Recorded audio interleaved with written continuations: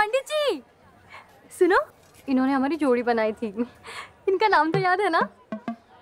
Madam, सत्रह साल से हमारी जोड़ी चल रही है। ना मैंने तुझे तकलीफ़ दी, ना तूने मुझे राइट तो फिर इन पंडित जी का नाम क्यों याद रखूँ? हाँ, जो चीज़ चलती रहती है, वो कहाँ याद रहती है? फिनोलेक्स लॉन्ग लास्टिंग पाइप्स एक बार लगवाइए और हमारा नाम भूल जाइए।